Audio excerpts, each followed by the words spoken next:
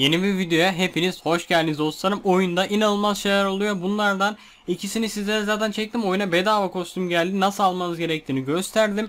Ve bedava 9 tane kaykay görevler event falan geldi. Şu e, Fortnite X'le beraber. Onu da nasıl almanız gerektiğini gösterdim. İzlemediyseniz önce onları izleyin. Çünkü videoları belli bir sırayla atıyorum. Karışmasın abi. Önce onları izleyin. Şimdi oyuna bu kadar güncellemenin üstüne bir de ekstradan 9.10 yama notları geldi. Yani bir de bugün günlerden çarşamba, perşembe falan değil hani. Ama inanılmaz şeyler geldi. Sizlere beraber bakacağız. Ee, versiyon 9.10 yama notları gençler tek tek sizlere anlatacağım. Bu arada aşağıdan videoyu beğenirseniz çok sevinirim. Artık videonun beğenilerini açıyorum arkadaşlar biliyorsunuz. O yüzden beğenileriniz çok önemli. Orada yüksek gözükmesi lazım ki motive olayım ve videoyu ne olur sonuna kadar izleyin. Ee, sonuna kadar izlediğiniz zaman video e, yukarılara çıkıyor. Hani İşiniz varsa da telefonu koyarsınız. Mesela tuvalete gideceksiniz. O video kendinden izlesin, devam etsin. O mantık yani. E, yorum yapmayı unutmayın. Benden nasıl videolar istiyorsanız merak ediyorum. Hepsini yazın. Abone olmayı unutmayın. Ve e, dükkana alışveriş yaparken de Unicorn Popos kodumu kullanıp bana destek olursanız çok ama çok sevinirim ve sizlere daha çok çekiliş yapmaya fırsatı bulurum dostlar. E, evet öncelikle Battle Royale güncellemelerinden başlayacağız her zaman gibi. Daha sonrasında kreatif ve dünya hukukta güncellemelerine değineceğiz ama en önemli şeylerden bir tanesi Battle Royale geldi gençler. Gördüğünüz gibi sıcak noktalar diyor. Haritadaki rastgele seçilmiş konumlarda daha fazla ganimet çıkacak ve o bölgelerin mühimmat desteği inme ihtimali normalden daha yüksek olacak. Yani arkadaşlar e, böyle bir mühimmat desteği geliyor. Artık yeni e, şeye bağlı olarak yeni sezonda modern modern havasına bağlı olarak modern bir mühimmat desteğimiz var. Ve haritadaki işaretlenmiş yerlere bunlar düşecek arkadaşlar. Ee, başka bir yerde de oyunun içinde de şunu gördüm. Bunları bizim vurup düşürmemiz gerekiyor. Burada da oralarda çıkacak yazıyor. Hani muhtemelen orada belirecek. Biz bunu vuracağız ve mühimmat aşağı düşecek.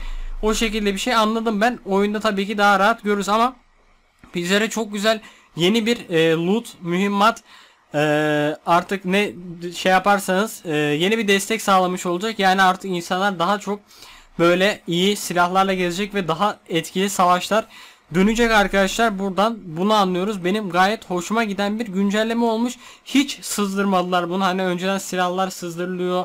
Ee, ne bileyim gelecek skinler sızdırılıyor ama böyle bir şeyin geleceği hiç sızdırılmadı ve Fortnite'ın bunu bu şekilde kimseye çaktırmadan bir anda getirmesi benim gerçekten hoşuma gitti. Çünkü hiçbir şekilde sızdırılmadan kimse böyle bir şey beklemiyordu ve geldi oyuna inanılmaz yenilik katacağını düşünüyorum. Bakın küçücük bir şey ama oyuna inanılmaz eğlence katacak. Çok daha güzel olacak.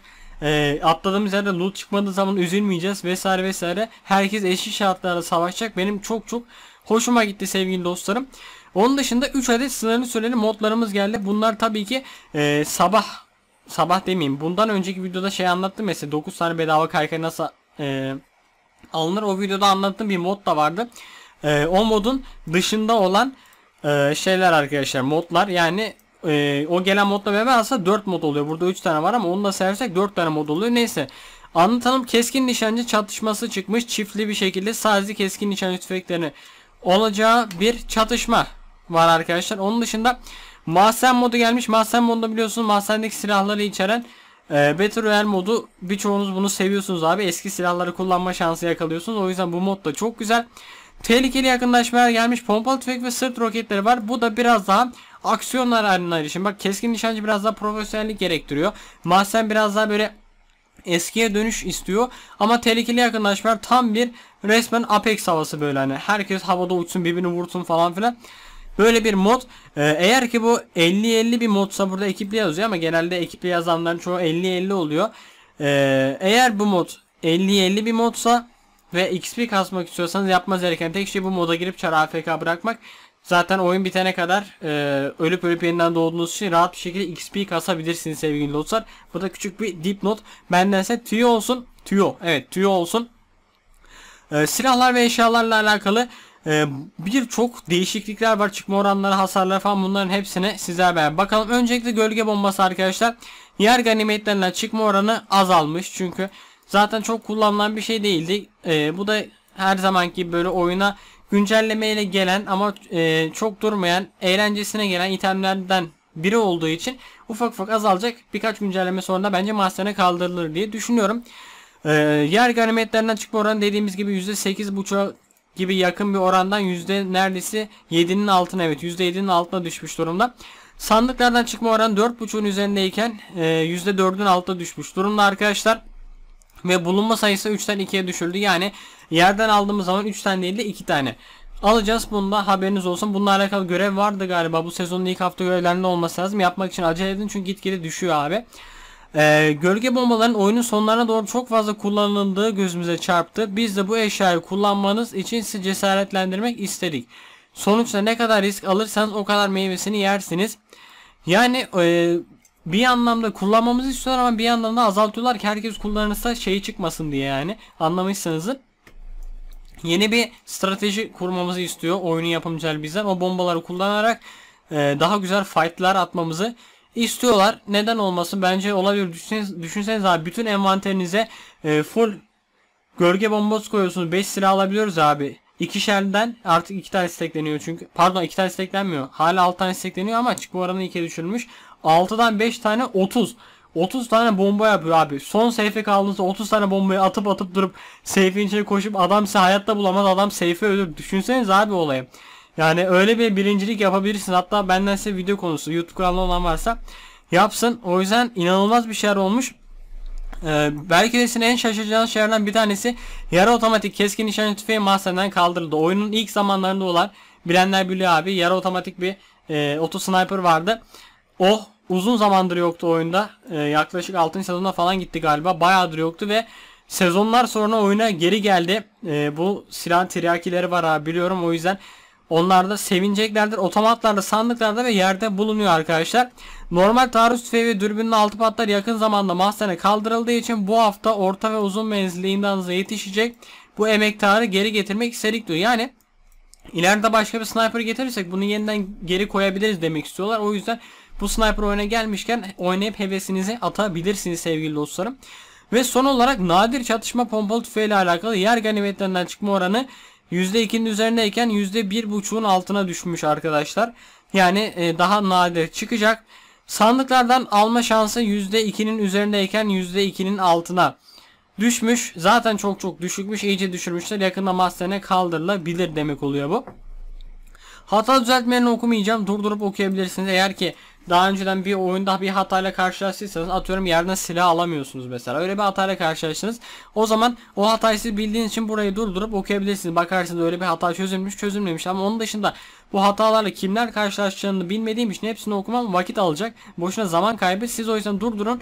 Eğer ki bir hatayla karşılaştıysanız ve düzeldiğini merak ediyorsanız durdurup buraya bakabilirsiniz sevgili dostlar. Oynanışla alakalı sıcak noktalar eklenmiş. Her maç en az bir ve en fazla 3 tane isimli bölge harita üzerinde altın yaldızlı yazılı işaretlenecek. Yani ee, bakalım. Ha, bu en başta güncellemenin en başında bu ganimet taşıyıcılarından bahsettik ya. Onlar haritanın her maçta değişecek tabii ki bölge. 3 farklı çatışma alanı şey yapılacak ve oralara mühimmat desteği gelecek. Yani oraya inmek tehlikeli ama bir anlamda da çok güzel e, e, lootlar yapabilirsiniz o çatışma desteklerinden. Çatışma desteği diyorum. Mühimmat desteklerinden. O yüzden güzel olmuş. Yani beleş vermiyorlar abi. Diyor ki o silah isteyeceksen, istiyorsan hak edeceksin. Savaşacaksın, ölmeyeceksin diyor. Yani inanılmaz bir şekilde bir savaşa itiyorlar abi. Gayet güzel olmuş. Ee, sesler rakiplerin zıplama sesi vesaire iyileştirilmiş. Daha güzel olmuş. Yani ses kasarken ee, hop geri gittik bir dakika. Ses kasarken daha iyi olacaktır. Benim gayet hoşuma gitti. Ee, şurada nerede kaldık abi? Evet aşağı iniyoruz. Kullanıcı arayüzünde lobiye dön seçeneği maçtan çık olarak değiştirilmiş. Ne kadar iyi ne kadar mantıklı ne kadar değil bilmiyorum. Yaptılarsa bir bildikleri vardır. Kalkan hasar gördüğünde görünen hasar belirtisi rengi yüksek kontrastlı orijinal haline döndürüldü. Ha. Yani adam vurduğumuz zaman üzerine böyle sayı olarak mavi bir şey çıkıyor. O kendi rengine dönmüş galiba. Yani öyle anlatıyor galiba. Oynayınca şey yapılar. Çok önemli şeyler değil bunlar. Seyirci modu diyor. Sunucudaki bir tekrar otobüse gitme aşamasındayken izlediğinizde kameranın odağı e, bunu geç bu tekrar maçından bahsediyor. Canlı maçlar izlendiği sırada savaş otobüsüne binildiğinde oyuncular değişiyordu. Bu sorun çözüldü. Canlı maç izleyebiliyor muyuz? Ben birinin maçını izleyebiliyor muyum? Onu bilmiyorum gençler. Bilenler varsa aşağıya yazsın. İlk defa böyle bir şey duydum canlı maç izleme olayını. Varsa güzel olur yani.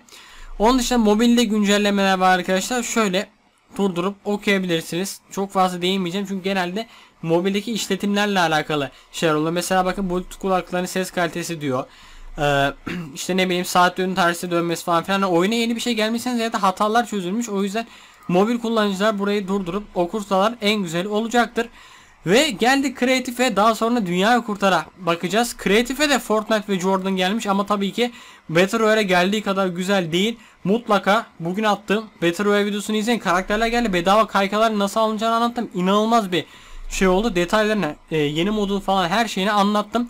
Resmen telefondaki bir oyun vardı Subway Surfers diye. Onun aynısını Fortnite'a getirmişler sevgili dostlar. Şöyle aşağı inmek istiyorum. Tekinsiz tepeler, tepeler teması gelmiş. Kreatife artık böyle korku mapleri de yapacaklar demektir ve korku mapleri yaparlarsa adamlar mutlaka e, sizlerle beraber korku mapi videosu çekeceğim. Hatta bizim ekiple belki saklanmaç falan oynarız. İnanılmaz zevkli olur. E, sizleri çekeceğim yani kafamda fikrimi çalmayın lütfen YouTuber arkadaşlar. Saklanmaç fikrimi çalmayın. Korku maplerine saklanmaç çekmek istiyorum bizim ekiple.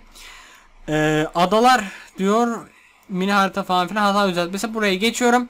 Ve sırada geldi son olarak dünyayı kurtar arkadaşlar. Dünyayı kurtaran uzay taşları e, şey gelmiş etkinliği gelmiş galiba. Böyle e, şey alabiliyoruz. Profil resmi alabiliyoruz. İşte e, simülasyonu falan gelmiş. Bu tamamen bunun görevleri de gelmiştir. Canazor Canisi gelmiş arkadaşlar. Bu, bu yeni askerin dinozor kudreti soyu tükenenlerin suratlar olacak.